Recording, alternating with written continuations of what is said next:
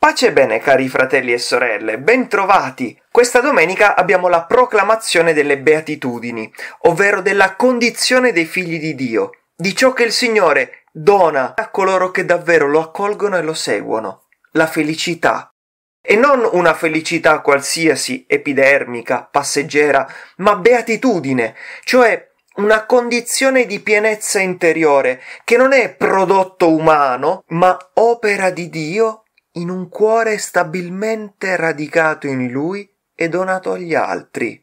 Le beatitudini ci ricordano che Dio è felice e rende felici coloro che lo amano e lo seguono, e tutte insieme, nella loro paradossale bellezza, risplendono sul volto di Cristo. Lui per primo le ha incarnate, le ha vissute e dona di poterle vivere e sperimentare. Noi in questa riflessione ci soffermiamo in particolare sulla prima. Beati i poveri in spirito perché di essi è il regno dei cieli. È la porta di accesso a tutte le altre, in un certo senso le racchiude, le riassume ed è al presente. Ci parla di qualcosa che già ora Dio ci comunica. Cerchiamo di capire chi è il povero in spirito. Allora, in greco la parola povero è ptokos, che indica il pitocco, il mendicante, colui che non vive se non chiede, se non riceve.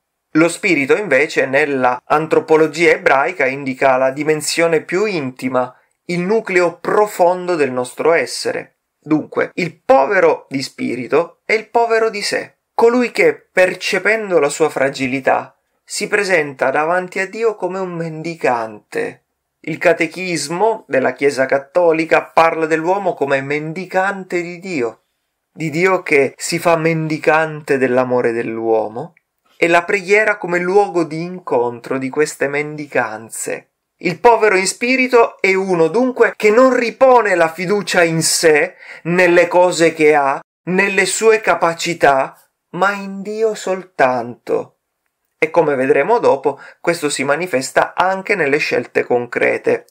Oltre a ciò, se ci rifacessimo al retroterra ebraico del termine anav, povero, potremmo dire che il povero in spirito è la persona umile, dunque all'opposto dell'orgoglioso, del saccente, dell'autosufficiente. E possiamo capire perché è beato, perché di essi è il regno dei cieli, dice Gesù. Cioè, diciamo così, perché in essi Dio può regnare, Dio trova spazio, può riversare il suo amore nel cuore. E potremmo dire come una tazza. Se la tazza è piena, non puoi versarci nulla. Se invece è vuota, ci puoi mettere qualcosa. Così è il nostro cuore. Se è pieno, se è già sazio, Dio non trova spazio. Viceversa, se il nostro cuore è povero, Dio vi può regnare.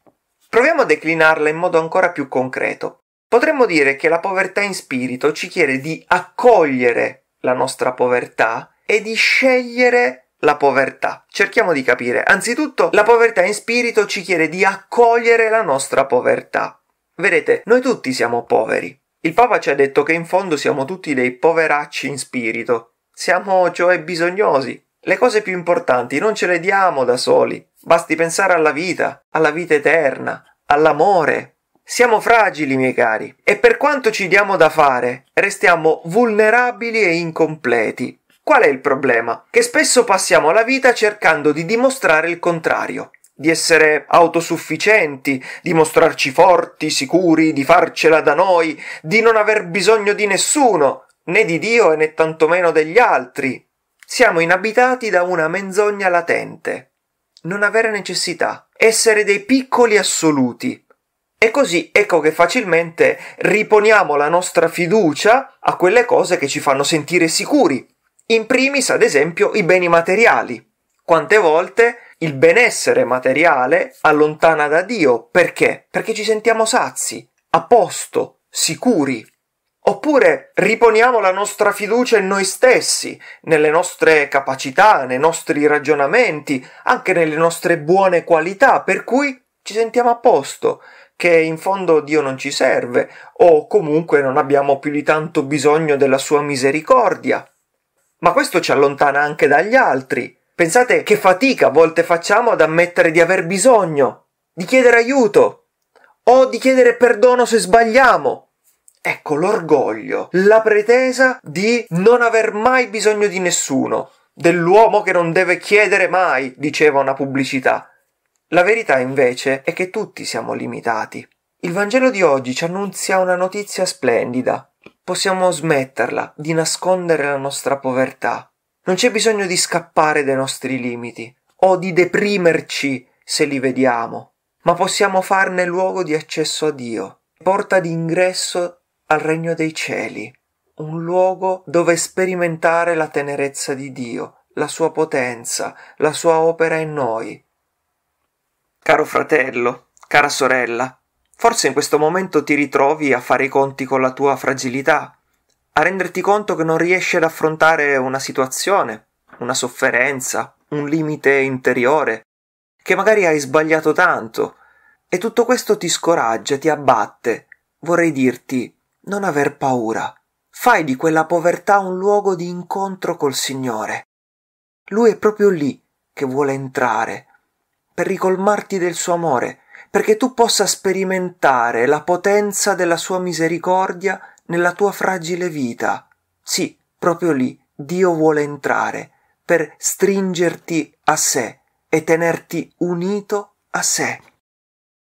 La povertà in spirito, dunque, cari fratelli e sorelle, è la povertà di chi, riconoscendosi bisognoso, confida in Dio e in Dio soltanto, e dunque ne cerca anche la volontà. Il Papa ricordava che questa povertà di spirito è molto legata con la santa indifferenza che proponeva Sant'Ignazio. Lui diceva per questa ragione è necessario renderci indifferenti verso tutte le cose create, quelle chiaramente lecite, buone, in modo da non desiderare da parte nostra più la salute che la malattia, più la ricchezza che la povertà, più l'onore che il disonore, più la lunga vita piuttosto che quella breve, e così in tutto il resto. Pensate che bella questa libertà, che ti porta a cercare al di sopra di tutto ciò che Dio vuole, cioè il meglio per me. Quanta inquietudine viene dal pretendere che tutto vada come vogliamo noi, che tutto sia come diciamo noi. Povero in spirito è colui che al di sopra di tutto cerca e si abbandona a ciò che Dio vuole. E non solo, è colui che confida sempre e comunque nella sua misericordia e non nei propri meriti. Vedete, miei cari, a volte un ostacolo grande alla felicità, alla crescita è l'orgoglio. Tante volte lo scoraggiamento è figlio dell'orgoglio. Non accettare una difficoltà, una propria caduta. Colui che invece è povero non si scoraggia confida nel Signore e se anche riesce in qualcosa, rende lode senza insuperbirsi. Quanta libertà c'è qui. Tutto questo dispone il cuore ad accogliere la consolazione dello Spirito e la sua dolce presenza in noi. Infine, la povertà di spirito ci chiede di abbracciare in un certo modo di scegliere anche la povertà. Come ci ha ricordato il Papa, Luca nella sua prospettiva non parla di povertà di spirito, ma di essere poveri e basta, e così invita anche noi a un'esistenza sobria, austera, spoglia. In questo modo ci chiama a condividere la vita dei più bisognosi, la vita che hanno condotto gli apostoli, e in definitiva a conformarci a Gesù, che da ricco che era si è fatto povero e mi piace concludere con una piccola storiella. Si racconta di un eremita che un giorno raccolse da un fiumiciattolo alcune pietre particolarmente belle. Le voleva usare per ornare un suo piccolo altarino. Mentre ritornava verso il suo eremo, incontrò un bisognoso che gli chiese qualcosa e lui gli regalò tutte le pietre che aveva raccolto. Una di queste era anche una piccola pepita d'oro. Questo povero rimase stupito di questo dono e qualche giorno dopo tornò di nuovo dall'eremita. L'eremita lo guardò e gli disse Figliolo, ti serve qualche altra pietra? No, gli disse il povero. Io vorrei avere il tesoro che tu hai nel tuo cuore, che ti permette di donare così tanto con tanta libertà. Cari fratelli e sorelle, beati i poveri in spirito, perché di essi è il regno dei cieli. Felice chi fa della sua povertà un luogo di incontro con Dio e di apertura agli altri, Beato, felice chi accetta il proprio stato di mendicanza verso Dio. Questo lo apre al possesso del più grande dei beni, il regno di Dio, il suo amore in lui. Che il buon Dio vi benedica. Pace e bene a tutti.